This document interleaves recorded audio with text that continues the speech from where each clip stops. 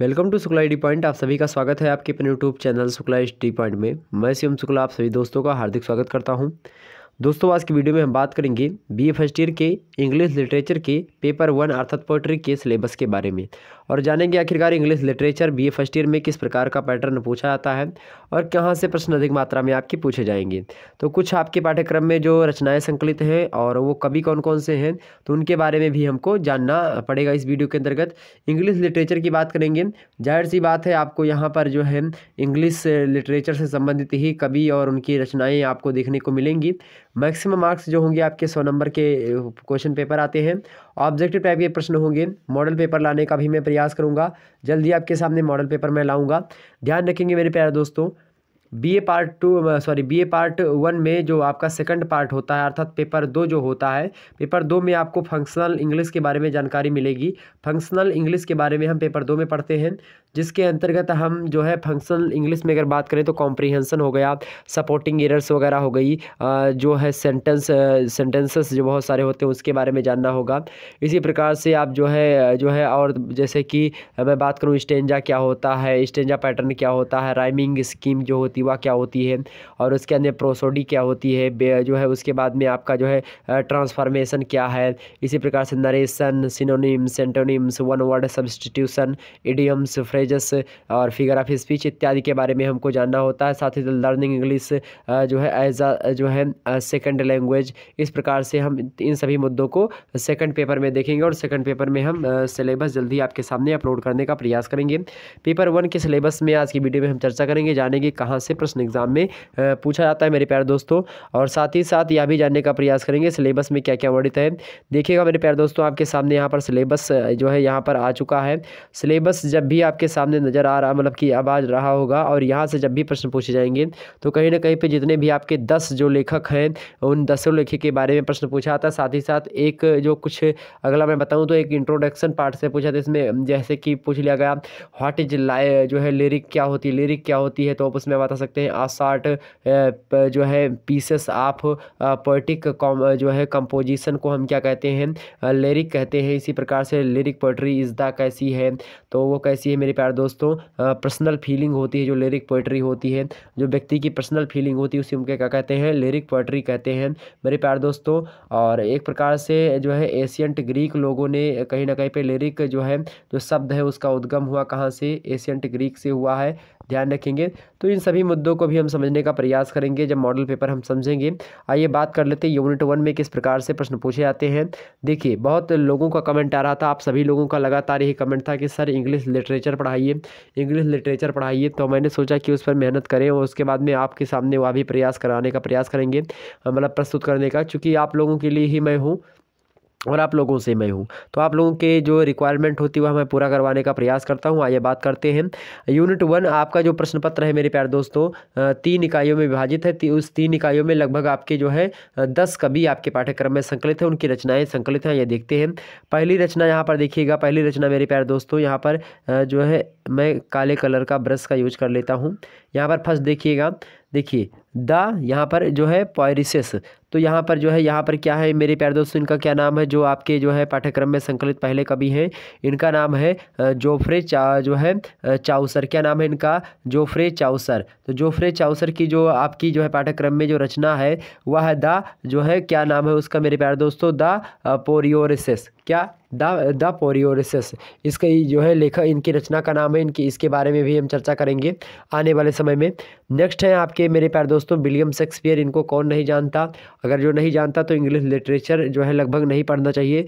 जैसे हिंदी में अगर बात करूँ मैं तो हिंदी में आपके मेरे प्यारे दोस्तों, अगर प्राचीन में बात करूँ तो जो जो जो लगभग जो तुलसीदास जी जैसे हैं तो तुलसीदास जी हिंदी साहित्य के प्रपज्ञ हैं। इसी प्रकार से हिंदी साहित्य में जैसे रामचंद्र शुक्ला जी का स्थान है, या फिर इसी प्रकार से जो बड़े बड़े साहित्यकार हैं, उनका स्थान है, ठीक उसी प्रकार से इंग्लिश लिटरेचर में विलियम शेक्सपियर का स्थान है। ओके, ध्यान रखेंगे, विलियम शेक्सपियर मेरे प्यार दोस्तों, sonnet number one thirty eight इनका शामिल है। होन माई लव ठीक तो होन माई लव यहाँ पर इसको पढ़ना पड़ेगा। उसके बाद में आपने इंटर में एक पार्ट पढ़ा होगा ऑन हिज ब्लाइंडनेस इसमें अंधे अंधों के बारे में बताया जाता है कि जो व्यक्ति अंधा होता है वह किस प्रकार से फीलिंग उसकी होती है। इसके बारे में इस पोट्री के बारे में बताया गया है। तो ये एक प्रकार से क्या है इनकी रचना किसकी? जॉन मिल्टन की। और जॉन मिल्टन ने बड़े ही अच्छे ढंग से इसको प्रस्तुत किया। आपने इंटर में इसको पढ़ा होगा।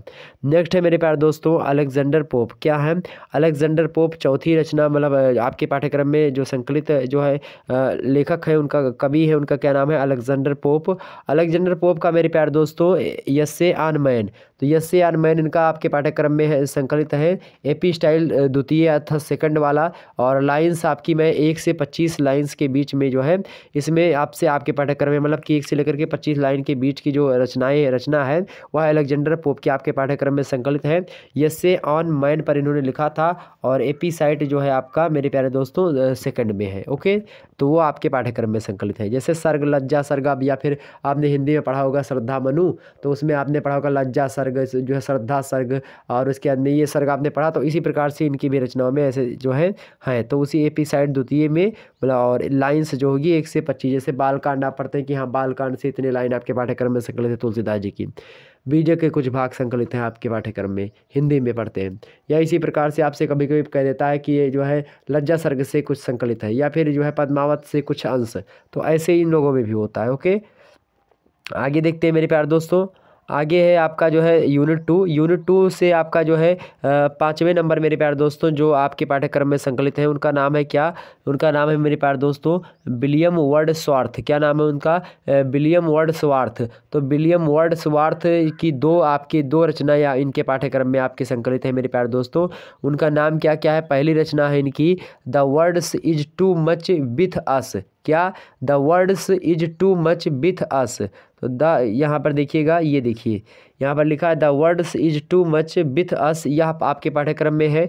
और दूसरी रचना इनकी जो है, मेरे प्यारे दोस्तों, दूसरी रचना का नाम है आपका द सॉलिटरी रेपर क्या नाम है? द सॉलिटरी रीपर इन, दूसरी रचना का नाम है। इन सभी के बारे में हम जो है, इनसे जो प्रश्न पूछे हैं मॉडल पेपर में देने का प्रयास करूँगा और बताएँगे उसमें। ओके, आगे देखते हैं। अगले जो है, आपके पाठ्यक्रम में संकलित है। सिक्स नंबर पर देखिए, उनका नाम है आपका पी बी सेले क्या नाम है? पी सेली तो पी से जो पी बी सेले हैं, इनकी जो रचनाएँ आपके पाठ्यक्रम में है मेरे प्यारे दोस्तों टू आ स्काई लार्क। क्या टू आई स्काई लार्क इनकी एक रचना है, वह आपके पाठ्यक्रम में संकलित है। टू आई स्काई लार्क जो है यह एक प्रकार से इनकी रचना है किसकी? पी बी शैली की, यह आपके पाठ्यक्रम में संकलित है। नेक्स्ट है मेरे प्यारे दोस्तों सेवन नंबर जॉन कीट्स। क्या नाम है इनका? कवि का आपके जॉन कीट्स नाम है।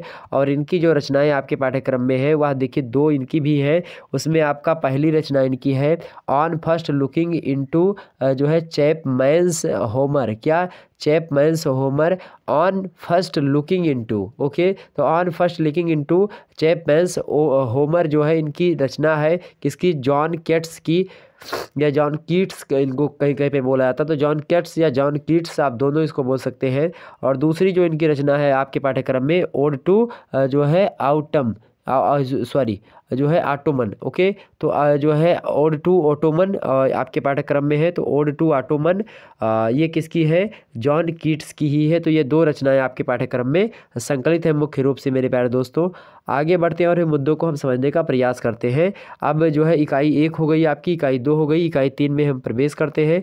इकाई तीन में आते हैं मेरे प्यारे दोस्तों इसमें एट, आठ, नौ और दस। ये तीन जो है लेखक आपके इकाई तीन में संकलित है। सॉरी, इन तीनों लेखक के बारे में थोड़ा जानते हैं हम। देखिए, यहाँ पर मेरे प्यार दोस्तों, तीसरे में है आपके क्या? उनका नाम है मेरे प्यार दोस्तों, अल्फ्रेड लॉर्ड जो है, क्या नाम है इनका? टेनिसोन। तो टेनिसोन की, इनका पूरा नाम है अल्फ्रेड लॉर्ड टेनिसोन।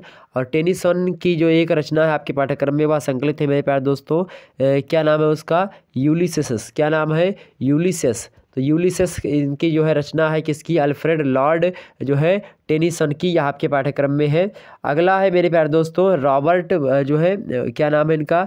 ब्रोवनिंग। तो लॉबर जो है रॉबर्ट ब्रोवनिंग ब्रोविंग तो रॉबर्ट ब्रोविंग इनकी जो दो रचनाएँ आपके पाठ्यक्रम में संकलित है, माई लास्ट जो है या क्या लिखा है यहाँ पर देखिए, डूचेस तो डचेस या फिर डुचेस आप दो भी बोल सकते हैं तो डचेस, माई लास्ट डचेस इसको आप बोलेंगे, और दूसरी है आपका मेरे प्यारे दोस्तों, उसका नाम है प्रोस्पाइस, क्या नाम है प्रोस्पाइस, किसकी है रॉबर्ट ब्रोबिंग की है रॉबर्ट रॉबर्ट ब्रोबिंग की दो रचनाएँ आपके पाठ्यक्रम में हैं, दो जो है कविताएँ हैं, पोइट्रीज़ हैं माई लास्ट जो है डचेस और उसके बाद में प्रो मतलब प्रोस्पाइस ओके, ध्यान रखेंगे। टेन देखते हैं मेरे प्यारे दोस्तों। दसवें हैं आपके मेरे प्यारे दोस्तों, मैथ्यू इनका नाम है मैथ्यू अर्नॉल्ड। तो मैथ्यू अर्नॉल्ड की जो है एक रचना आपके पाठ्यक्रम में है। क्या नाम है उसका? डोबर बीच। क्या नाम है? डोबर बीच। तो डोबर बीच आपके पाठ्यक्रम में भी संकलित है। तो इस प्रकार से आपने देखा आपके पाठ्यक्रम में दस जो है लेखक संकलित हैं। इसी प्रकार से इंट्रोडक्शन से भी कुछ प्रश्न एग्ज़ाम में आपसे पूछे आते हैं। जैसे आपसे आपसे पूछ लिया कि ओड इज़ वर मतलब कि ओरिजिनेटेड मतलब कि कहाँ से उद्गम हुआ है ओड का तो आप बताएँगे कि ओड का जो मतलब कि उद्गम हुआ है, वह कहाँ से हुआ है, रोम से हुआ है। इसी प्रकार से और भी तमाम सारी चीज़ें आपसे पूछेगा कि लिरिक की जो एक प्रकार से विधा है उसकी, उस लिरिक कहाँ से उत्पन्न हुई है तो एशियंट ग्रीक से जो है मिली है आपको। इसी प्रकार से आपसे पूछे मेरे प्यारे दोस्तों जो है कि आपसे बहुत सारे प्रश्न होंगे जो कि आपसे पूछ सकता है। तो वह सारे के सारे प्रश्न मैं आने वाले समय में आपको बताने का प्रयास करूँगा। मान लिया आपसे पूछे कि how many types of odes are मतलब कि आपके पाठ्य मतलब कि कुल मिलाकर के जो ओट्स होता है ओट्स के कितने प्रकार होते हैं तो ओट्स दो प्रकार का होता है मेरे प्यार दोस्तों। ओके? ध्यान रखिए तो ऐसे आपसे प्रश्न एग्ज़ाम में पूछेगा, ध्यान रखेंगे, ओके? अगर आपसे पूछे basically how many kinds of poetry in English literature मतलब इंग्लिश लिटरेचर में अगर मूलभूत देखें आधारभूत चीज़ों के बारे में समझें तो उसमें कितनी आपकी जो है विधाएँ या फिर कितनी प्रकार की पोइट्री होती हैं तो दस प्रकार की आपकी पोइट्री इंग्लिश लिटरेचर में आपको जनरली देखने को मिल जाएँगी। तो ये सारे के सारे मुद्दे जो होंगे, हम आने वाले समय में उसको, उस पर डिस्कशन करते रहेंगे मेरे प्यारे दोस्तों। साथ ही साथ अगर आपको वीडियो पसंद आई तो उसको लाइक कर दीजिए। अगर चैनल पर नए हैं मेरे प्यारे दोस्तों तो उसको भी सब्सक्राइब कर दीजिए और सभी लोगों के पास यह वीडियो शेयर कर दिए, ताकि सभी लोग हमसे जुड़ सकें और अपनी तैयारी अच्छी से अच्छी रूप से कर सकें। और, ओके मेरे प्यारे दोस्त चलें, आगे बढ़ते हैं। यहाँ पर मैं जो है कभी कभी आपसे एग्ज़ाम में और भी चीज़ें पूछी जा सकती हैं।